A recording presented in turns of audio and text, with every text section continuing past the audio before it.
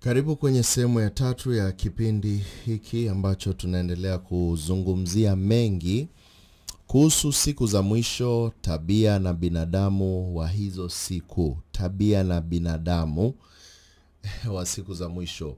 Tumeona mengi kuhusu vile watu watakavyokuwa siku za mwisho, na tukaona watu watakuwa wanapenda sana uovu, hawapendi ukweli. Ukimwambia mtu ukweli hataki, lakini anataka kufanya uovu, anataka mambo ambayo ni maovu, na anataka kutimiza kile ambacho masikio yake yanafurahikia. Na ukiambia mtu hili si, si jambo nzuri, yeye hataki. Watu wengi sana hawapendi, na kweli hii inatuambia kuwa hizi ni siku za mwisho, na maandiko yanatuambia hizo siku zitakuwa ni siku ambazo ni za kutisha sana, siku ambazo wewe mwenyewe ukiangalia na wewe ni Mkristo mwenye haki inakuuma sana, na hizi ndizo siku tunaishi leo, na tumeona maandiko kwenye kitabu cha Petro wa pili kuanzia mlango wa pili tukiteremka hadi mstari wa kumi tumeona vile hawa watu watakuwa wanafuata mwili wao katika tamaa ya mambo machafu na kudharau mamlaka ambayo Mungu ameweka. Na tukiendelea hapo mstari wa kumi na moja maandiko yanasema wenye ushupavu, wenye kujikinai, hawatetemeki wakiyatukana matukufu. Unasikia venye hawa watu watakuwa, yani watakuwa hawa, hawatetemeki wakiyatukana matukufu, yaani they, they don't even feel anything those kind of people wa siku za mwisho. Ijapokuwa malaika ambao ni wakuu zaidi kwa uwezo na nguvu hawaleti mashtaka mabaya juu yao mbele za Bwana. Just imagine malaika ambao ni wenye nguvu hata kuliko wanadamu. Hawawezi simama mbele ya Mungu kumwambia hey, Mungu unajua vipi kuhusu hawa watu? Malaika wako na ile heshima ambayo wamepea Mungu, wanasema we Mungu, siwezi anza kuenda kupayuka payuka mbele yako kuhusu hawa watu ambao tayari wanafanya ubaya. Hmm? na wewe mwenyewe unafanya mabaya kusudi, ilhali hata malaika wanamwogopa Mungu. Wewe mwenyewe umeamua, mimi siwezi ogopa Mungu, mi nitafanya kulingana na vile matakwa yako yangu yanataka nitafanya kile ambacho nasikia roho yangu ikitamani. Na mstari wa kumi na mbili unasema, lakini hao kama wanyama wasio na akili, ambao walizaliwa kama wanyama tu kwa kukamatwa na kupotezwa, wakifukuru katika mambo yao wasiyoyajua, wataangamizwa katika maangamizo yao. But this as natural brute beasts, na tafsiri kwa kimombo made to be taken and destroyed. Unasikia vile Mungu anasema hawa watu ni kama nani? Ni kama wanyama wasio na akili ambao walizaliwa kama wanyama tu wa kukamatwa na kupotezwa. They speak evil of the things that they understand not and shall utterly perish in their own corruption. Watu wanaamua kufanya vitu ambavyo wanataka, okay? Wanaamua kufanya vitu kulingana na vile wanataka, hawajui Mungu anasema nyinyi nyinyi mtaangamizwa, mkicheza mtaangamizwa. Na wa, wakipatikana na madhara mm-hmm, sikia hapo kumi na tatu, wakipatikana na madhara ambayo ni ujira wa udhalimu wao, wakidhania ya kuwa ulevi wakati wa mchana ni anasa, wamekuwa ni mawaa na aibu, wakifuata anasa zisizo kiasi katika karamu zao za upendo wafanyapo karamu pamoja nanyi, and shall receive the reward of unrighteousness and they shall count it pleasure to riot in the daytime. Sports they are and blemishes, sporting themselves with their own deceivings while they feast with you. Yaani Mungu anakasirishwa sana kuona watu wanatenda mambo ambayo hayafai, ilhali wanafurahikia uovu wao, na Mungu anasema hawa watu ni wenye macho yajaayo usinzi uzinzi, they having eyes full of adultery, wasiokoma kutenda dhambi, wenye kuhadaa roho zisizo imara, wenye mioyo iliyozoezwa kutamani, wala na wana laana. Mungu anasema this kind of people, the, macho yao yamejaa tu usinzi uzinzi adultery. Their eyes are full of adultery. You just want to do evil things all through. Evil. When you wake up vitu vibaya. Ukilala vitu vibaya na maandiko yanazungumza ningetaka nikusomee hapa ndio uweze kuelewa nini mungu anasema kuhusu hawa watu. Wakiiacha njia iliyonyoka wakapotea. Wakiifuata njia ya Bala, balaamu mwana wa boeri aliyependa ujira wa udhalimu lakini alikaripiwa kwa uhalifu wake mwenyewe. Punda asiyeweza kusema akinena kwa sauti ya kibinadamu aliuzuia wazimu wa nabii yule. Sikia hapo maandiko anasema they have forsaken the right way. They have gone astray. Wakifuata zile nyayo za jamaa alikuwa anaitwa belam mwana wa bosor ama beori ambaye alipenda the wages of unrighteousness. Huu Balaam alikuwa ameambiwa na mungu usijaribu kulaani watoto wa mungu. Usijaribu kulaani watu wa mungu. Lakini kwa sababu alikuwa anapenda pesa akaamua mimi naenda kulaani watoto wa mungu nifanye vile nataka. You know at the end of the day it doesn't matter. Borake nimepata pesa. Ni kama vile siku hizi unaona hata makanisani hata sehemu zingine mtu anaambiwa you know what is true. Na unaamua i'm not going to do what is true. Mimi nitakula pesa. Borake kuna pesa wacha nizikule na ndio maandiko yanasema mstari wa 17 hawa ni visima visivyo na maji na mawingu yachukuliwayo na tufani ambayo weusi wa giza ni akiba waliowekewa. These are wells without water. This kind of people they are just like wells which have no water and clouds that are carried with tempest to whom the mist of darkness is reserved forever. Maana wakinena mambo maneno makuu mno ya kiburi kwa tamaa za mwili na kwa ufisadi huwahadaa watu walioanza kuwakimbia wale wanaoenenda katika udanganyifu. For when they speak great swellings of words of vanity they allure through the lust of the flesh through much wantonness. Those that are clean those who are clean escape from them who lived in error. Sijui kama unanipata mungu anatuonyesha picha ya vile watu walivyo siku hizi za mwisho. Na kwa sababu mimi nataka uweze kukombolewa i just want to give you a picture. Uweze kuona picha vizuri ya mimi naweza nikafanya nini nikose kumdhihaki mungu jinsi hii tunavyoona.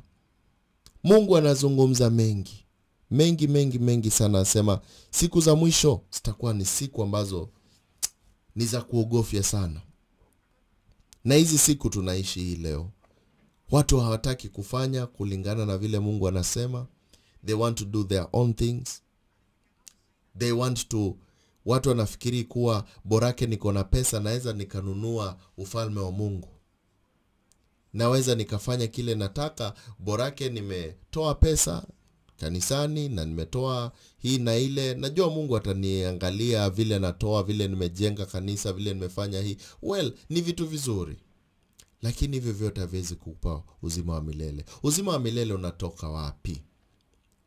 Unaweza kuokolewa vipi ndugu yangu? You know it's very important i always say it is very important to know how to be saved. Because kama hautajua vile ya kuokolewa hivi vitu vyote ambavyo maandiko amesema zitakwenda na wewe.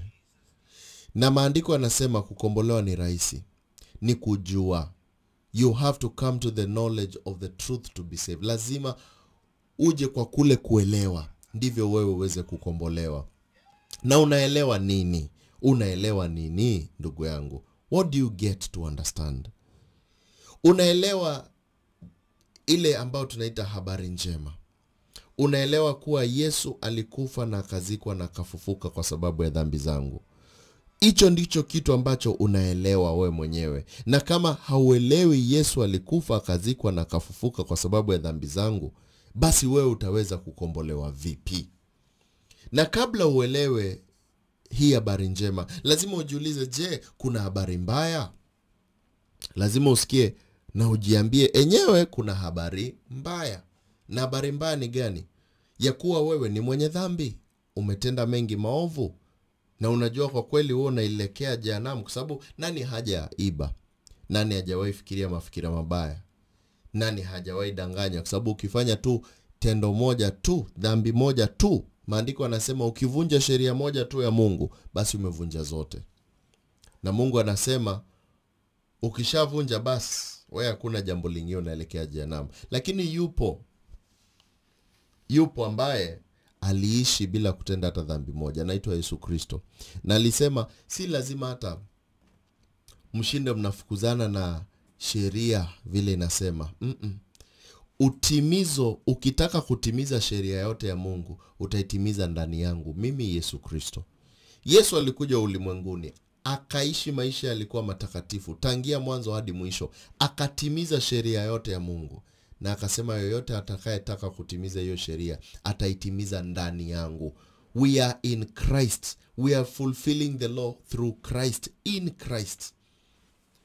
Na ukishampokea yesu kristo maandiko anasema unapokea upendo. Na timilizo ya sheria ya torati yote ni upendo. Kama huna upendo basi ndugu yangu hakuna sheria unatimiza. Sababu maandiko anasema ukimpenda mwenzako hautamuua ukimpenda mwenzako hautamwibia. Ukimpenda mwenzako hautamdhihaki hautakuwa mfisadi hautakuwa msherati. Utafanya kulingana na maandiko. Na mungu alisema mpende mungu wako kama una eh, kwa moyo wako wote na roho na kila kitu ambacho uko nacho. Na mpende mwenzako vile unavyojipenda mwenyewe. Na hiyo utakuwa umetimiza sheria yote. Na uwezi pata huu upendo. Unaitwa agape love bila kumjua kristo yesu na mambo ni matano tu unahitaji kujua ndio ukombolewe. Jambo la kwanza lazima ukubali wewe ni mwenye dhambi. You have to agree mimi yenyewe mi ni mwenye dhambi yesu kristo. Nimekubali kuwa mimi nimekutenda mengi maovu. Na jambo la pili lazima usikie habari njema. Habari njema inapatikana kitabu cha wakorintho wa kwanza 15 kuanzia mstari wa kwanza hadi wa nne na inazungumzia jinsi yesu alikufa na akazikwa na akafufuka kwa sababu ya dhambi zetu. Jinsi yesu alikufa na akazikwa na akafufuka hiyo ndio habari njema.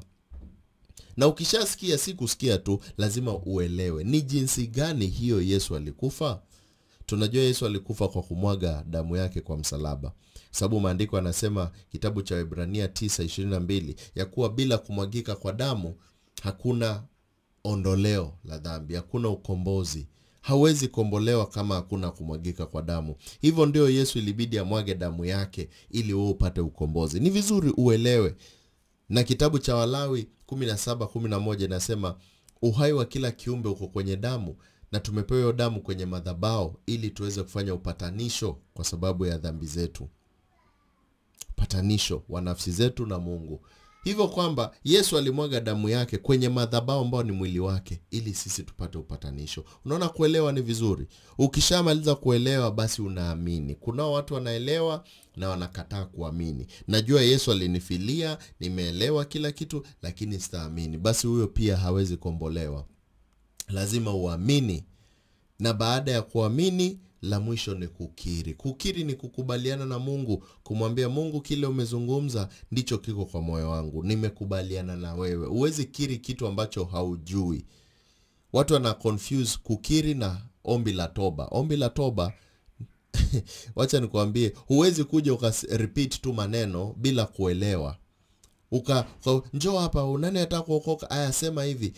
Watifu nasema na humaanishi kwa sababu haujui you know? So kukiri ni kujua kwanza na kukiri kusema enyewe mungu nimekubaliana na wewe hili na lile na lile. Hiyo ndio inaitwa kukiri. Na ukikiri kwa mdomo wako maandiko yanasema warumi kumi kumi ukikiri kwa mdomo wako unapata ukombozi. Na ukiamini kwa moyo wako unapata haki. Hivyo kwamba kama umeelewa haya mambo matano na wewe mwenyewe ungependa kumkubalia kristo kwa moyo wako ni rahisi ningependa tukiri pamoja. Yafunge macho yako sema mungu baba naja hii leo mbele zako. Nimekubali kuwa mimi ni mwenye dhambi. Nimesikia habari njema ya kuwa wewe kristo ulikufa na ukazikwa na ukafufuka kwa sababu ya dhambi zangu. Hii leo naomba nifanye kiumbe kipya. Nipe roho wako mtakatifu aishi nami milele kutoka leo nimeokolewa na kamwe sitarudi nyuma tena. Niongoze na kuwa nami. Na nimeomba haya nikiamini kwa jina la yesu kristo naomba na kuamini. Amen. Ndugu yangu dada yangu kama umekiri kwa mdomo wako na umemkubali kristo kutoka kwa moyo wako basi wewe ni kiumbe kipya. Ya kale yamekwisha na mapya yamekuja na kamwe hautakuwa vile ulivyokuwa. Itafute bibilia nzuri ya king james uweze kusoma na kuelewa kwa sababu sahizi maandiko yanatuambia tushakuwa na roho mtakatifu na yeye ndiye anatufundisha yote. Yeye ndiye anayetufundisha yote. Ukitaka kuelewa bibilia roho mtakatifu atakufundisha. Pia tafuta wenzako ambao wanapenda mungu wako na motisha kama ule wako msome maandiko na mshirikiane pamoja kukua kiroho sababu hivyo ndio mungu anataka.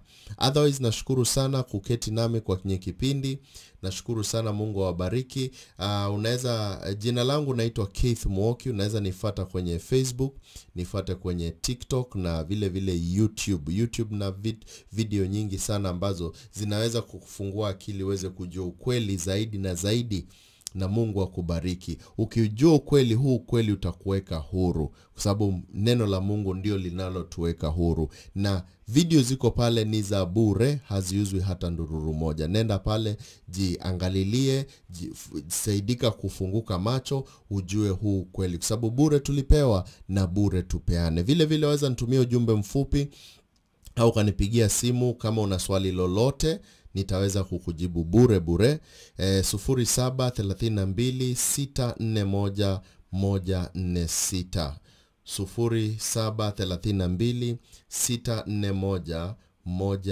0732641146 na hadi wakati ujao mungu akubariki. Tuketi nami kuwa na mimi all the time hapa kwenye kipindi the same same time.